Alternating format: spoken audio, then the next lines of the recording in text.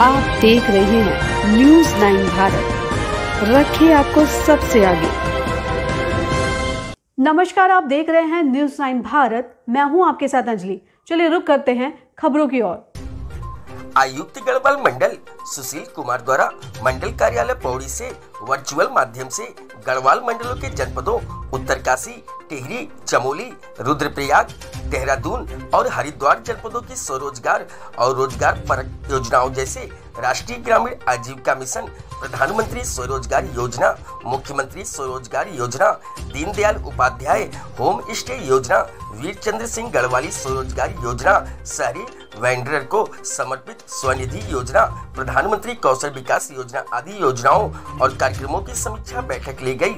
आयुक्त गढ़वाल मंडल सुशील कुमार ने संबंधित जनपदी अधिकारियों को स्वरोजगार परक योजनाओं और कार्यक्रमों का लोगों को समुचित लाभ पहुँचाने व इसके क्रियान्वयन में आने वाली बाधाओं की पहचान करते हुए उन बाधाओं को दूर करने, योजनाओं के क्रियान्वयन के लिए बैंकों से ऋण के लंबित आवेदनों का शीघ्र निस्तारण करते हुए लोगों को अपना स्वरोजगार प्रारंभ करने और विभिन्न कंपनियों और संस्थाओं के साथ टाई अप करते हुए रोज़गार उपलब्ध कराने के निर्देश दिए। आयुक्त महोदय ने मुख्य विकास अधिकारी, जिला विकास अधिकारी, पर्यटन विभाग, जिला उद्योग केंद्र, परियोजना निदेशक डी आर डी ए सेवा योजन, खादी ग्राम उद्योग आदि विभागों के अधिकारियों से उनके विभाग के अंतर्गत अथवा देखरेख में चलने वाली रोज़गार परक योजनाओं की प्रगति की जनपदवार जानकारी लेते हुए निर्देशित किया कि जिन विभागों की विभिन्न योजनाओं में लक्ष्य के सापेक्ष प्रगति संतोषजनक नहीं है, वो कार्य प्रगति में तेज़ी लाए।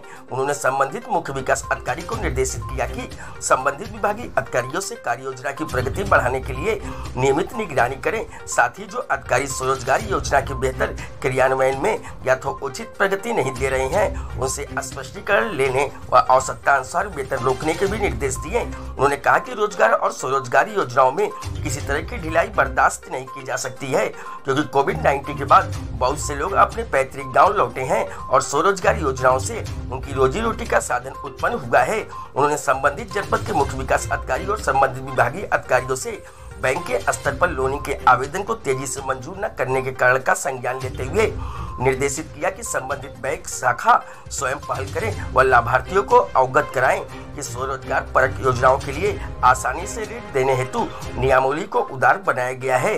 बैंक अधिकारी उसके अनुरूप ऋण स्वीकृत करें। उन्होंने निर्देशित किया कि भू स्वामित्व धारा एक भू स्वामित्व परिवर्तन, लीज एग्रीमेंट इत्यादि पर अनावश्यक सेक्शन न लगाएँ। न्यूज़ लाइन भारत के लिए वीरेंद्र रावत की रिपोर्ट।